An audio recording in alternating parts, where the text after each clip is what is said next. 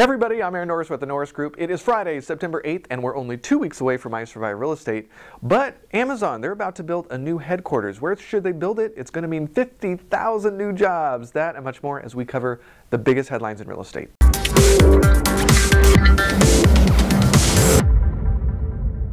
Don't miss the radio show and podcast. We are continuing with our guests for I Survive Real Estate, building up to the big event.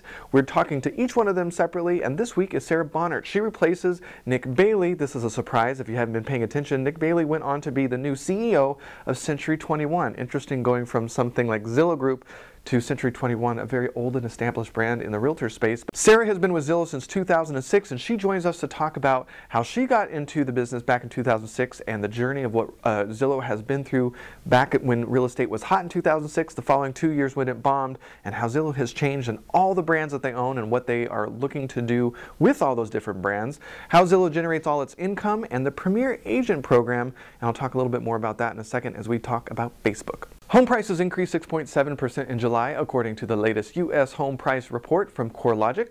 Fannie Mae reported housing confidence increased 1.2 points to 88 in their latest home purchase sentiment index. And the Labor Department reported jobless claims increased by the most in five years in the wake of Hurricane Harvey, having increased to 250,000 from 236,000. And we're hoping that now as Irma approaches Florida, that the same doesn't happen in Florida. Let's prayers and thoughts of you in for this weekend in Florida. Hang in there. Aston Plaza and residences in Dubai will make the first 150 studio apartments available to buyers via Bitcoin. I know what you're thinking. What the heck is Bitcoin?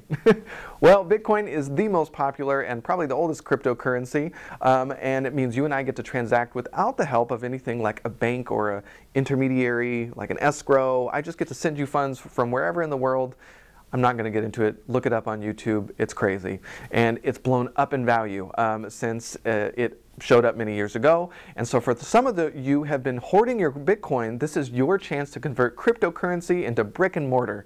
Touch with your hands, not in some cloud currency, but real estate. Wouldn't that be sweet? Well, now as soon as the apartments are sold, the Bitcoin will be converted into US dollars and they will use the, uh, the money, of course, to pay for the apartment. A total of uh, over 1,100 apartments are going to be made available, so maybe you don't have cryptocurrency, but you can buy it just with regular US dollars. According to a new Zillow analysis, home sellers on the West Coast saw the greatest return in 2016. Houses have soared over the past few years. Ever since around 2013, we've had a really nice price bump.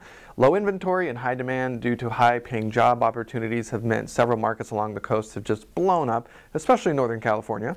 Nationally, sellers sold for 24% more than what they paid for when they stayed uh, at least seven and a half years. The three biggest gainers year over year were Seattle, Boston, and Sacramento, which all had double digit increases.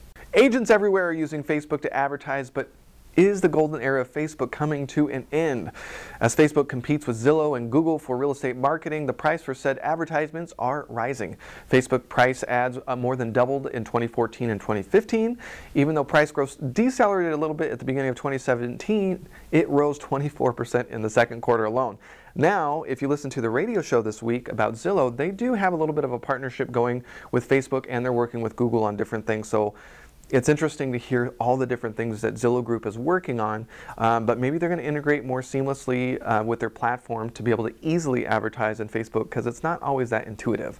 But competition has begun to get fierce among agents, and if you also listen to about the Premier Agents program, it's clear that Zillow Group is focused on the 10 to 15 percent of the top agents in the country that are willing to spend a lot of money. So it'll be interesting if Facebook decides to follow suit or makes it available to all. We'll have to wait and see. Could driverless cars have a serious impact on housing? Well, John Burns Real Estate Consulting tells us there will be eight changes to the housing market because of it. And it's a really great little article. And make sure you go to the blog and check it out. You can link through and read the entire thing.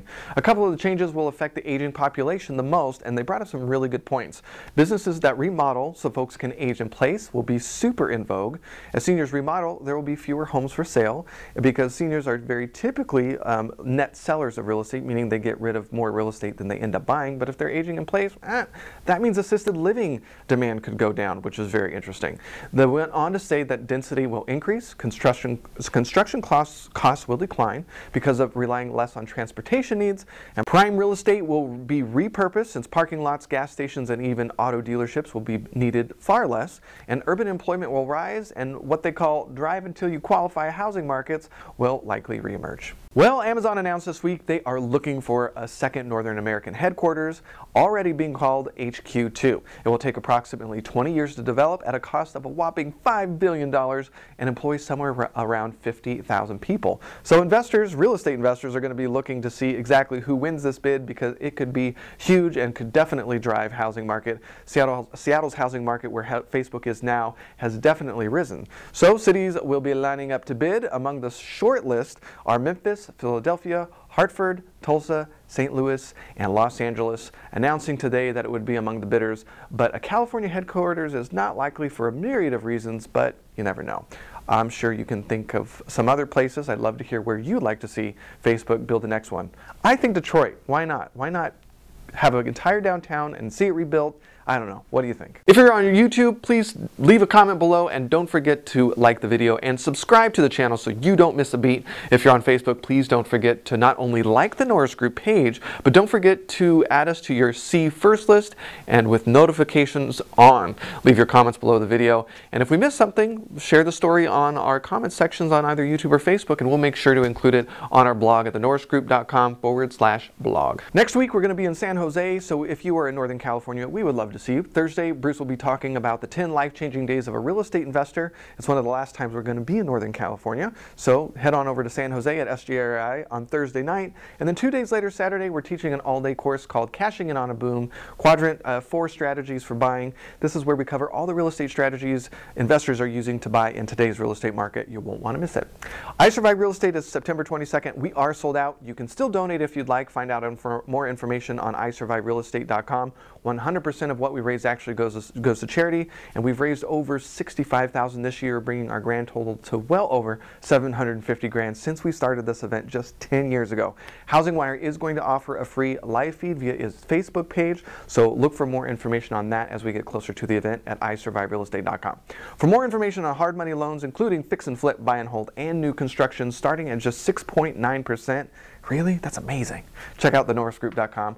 Or for more information on passive investing with trust deeds, check out tngtrustdeeds.com. With that, have a fantastic weekend, and we'll see you next week.